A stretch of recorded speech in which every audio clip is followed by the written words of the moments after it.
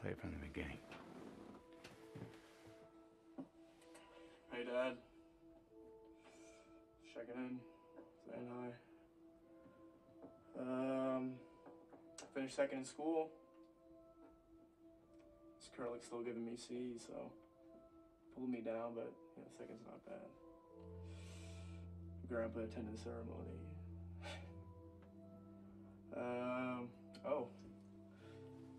Met another girl, Dad. I uh. I really think this is the one.